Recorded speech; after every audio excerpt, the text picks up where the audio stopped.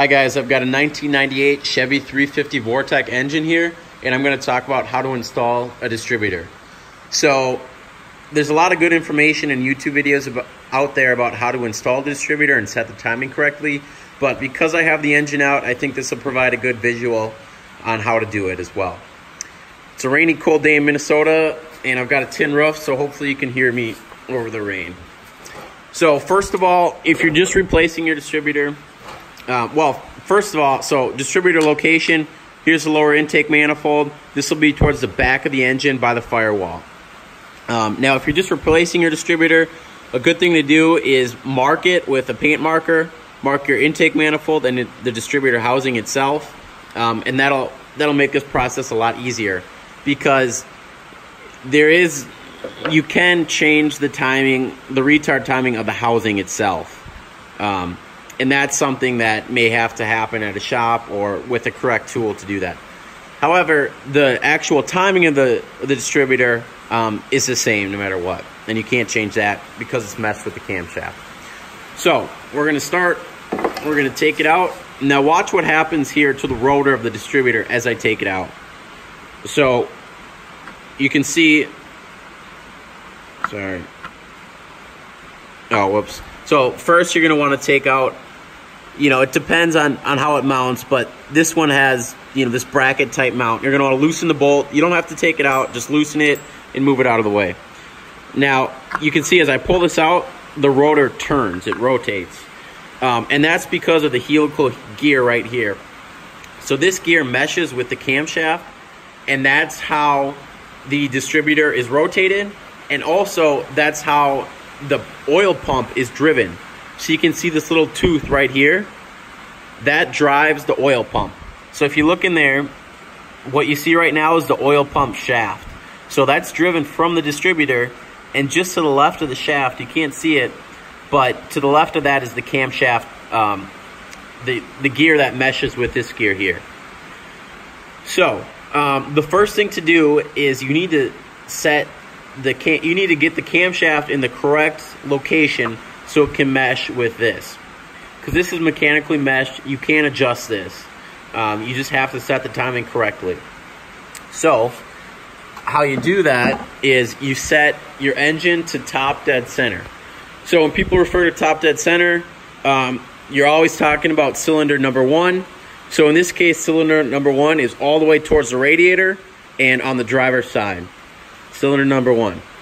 So down here, you have your balancer and your timing cover. Um, and you can see the notch here, and you can see a notch right there. So you line up your balancer with your timing cover, and that tells you you're at top dead center at piston number one. However, because it's a, a four four cycle engine, you can you have your compression stroke. You know you have four cycles, so you could be at top dead center at compression or also at intake, you know, so it compresses, you know, explosion, exhaust, intake. So, you know, you're coming back up and then the four cycles. So you need to ensure that you're at compression top dead center um, because that we're talking about the distributor and you want to ignite the fuel when it's when the air fuel mixture is totally compressed. That's when you ignite it. Um, so and you can get 180 off. So this is an important step. So what you do, at least there's a couple ways to do this, but this is how I do it. So I have my um, spark plug input right here, cylinder number one. I just stick my finger in there. I rotate the um, crank bolt there, and I'm just rotating the crank. Make sure you do it clockwise. And um, I'm just waiting until I feel compression in my finger. And you'll hear it, you'll feel it. It's, you know, as long as you have good rings, you'll you should be able to hear that and feel it. Um, so once once I feel that compression, I'm done with my finger. I, I, I can walk away, and now I'm just lining up these lines. Because like I said, this tells you that it's at top dead center, um, and this is just telling you at which cycle it's on. So that's how you set top dead center, uh, compression at least. Now that you have that, and you're now you know that your camshaft is located in the correct position. So now you have to set the timing correctly on your distributor. And there's a couple ways to do this that I've seen. um, the easiest one that I found is to line up. Let me see if I can focus here. Okay. So line up, there should be a paint mark. You can see it right here. And there's two notches on the distributor. So you can see them right here. Just line those up. Simple as that. Um, you know, I saw some people doing other things and and maybe if you don't have this paint mark, you might have to look into other things, but I found this works and it's, it's pretty simple. So now what I'm going to do is, okay, there we go. So I'm going to line up this flat part of the distributor, roughly square it with the intake manifold. So and then what I'm going to do is I'm just going to drop, drop this in. Now, okay, so, and I'm just kind of doing this roughly right now, so I might have been a little bit off. There we go. Um, okay, whoops. Okay, so now you can see it's not fully seating in here. And that's telling me that it didn't mesh with the oil pump correctly. So what you need to do is either, if you have your engine out, it's it's really easy for me just to take a screwdriver and just rotate the oil pump drive shaft a little bit and just keep kind of trial and error until it drops in. Um, otherwise, I've seen people kind of bump it with the with the with the starter um, and just rotate it like that. However you do it, just make sure that it's fully seated. Oh, and the other thing is, don't forget your seal. You need to have a seal in there, or else you'll have an oil leak back here. So once once that's installed, um, yeah, and actually, I can tell this is out of position here. Oops. So, I'm going to redo that. Sorry. So, I'm going to, once again, line these up.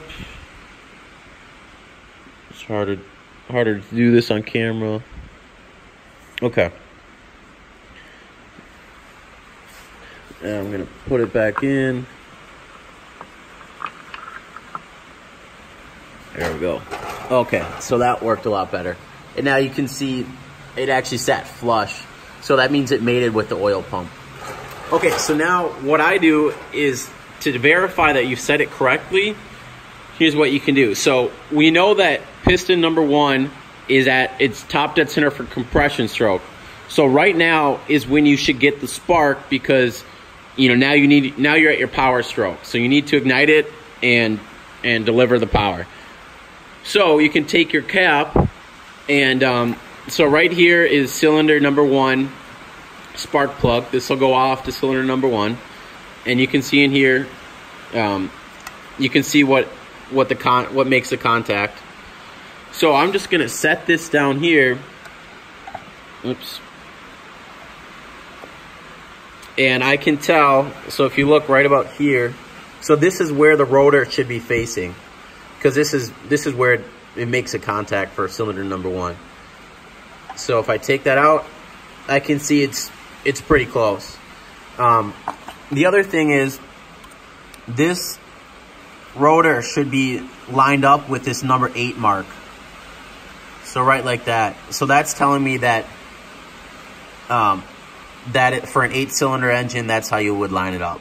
For a six cylinder, I believe you'd line it up over here.